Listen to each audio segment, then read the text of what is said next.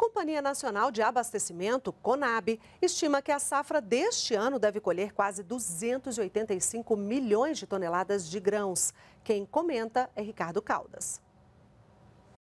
Bom dia, bom dia a todos. O nosso tema de hoje é a safra de grãos 2021-2022. Ontem foi divulgada a quarta estimativa é, de safra pela Conab, que é a nossa Companhia Nacional de Abastecimento. E ela aponta um novo recorde. E para tratar desses números, nós então trouxemos uma arte elaborada pela nossa equipe de produção. Apenas para dar uma ideia do montante que estamos falando aqui. Então vejam só, a estimativa da Conab é que eh, para 2021 2022 nós tenhamos uma nova safra recorde com alguma coisa em torno de 284,4 milhões de toneladas.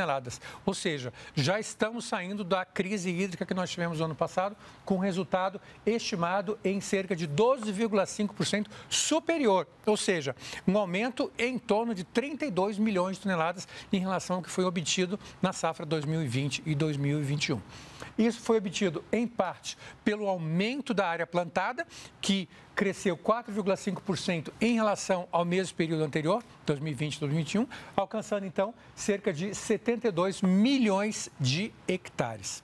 Dentre os produtos, destaca-se, como sempre, a soja, que é o nosso carro-chefe hoje, com cerca de 140 milhões de toneladas de produção, ou seja, quase a metade da produção total brasileira de grãos é responsável, né, pela, é, vem da soja, e também um outro importante produto para nós é o milho, cuja safra total é, estimada deve ser alguma coisa, a primeira, a segunda e a terceira, somadas deve atingir alguma coisa em torno de 112,9 milhões de toneladas.